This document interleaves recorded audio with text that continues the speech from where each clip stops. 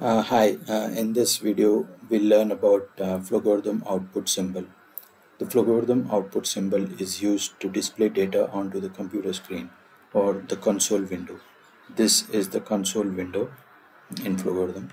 So to add uh, the Flowgorithm output symbol, uh, right click on the flow control line and choose the green parallelogram.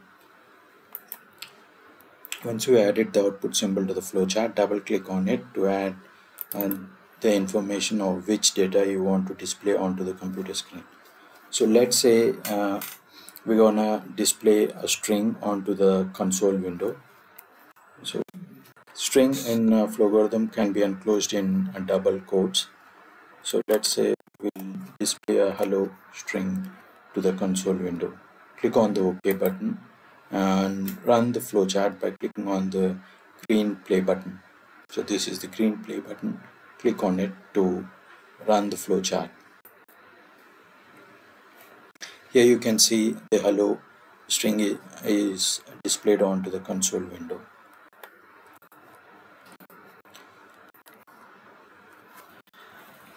And the output symbol can also be used to display the data stored in a variable. So let's declare a integer variable uh, click on the declare symbol.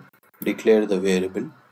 Let's say a of a type integer. Store a number uh, in the integer. So double click and choose the assign uh, flowchart symbol. Double click on the flowchart symbol.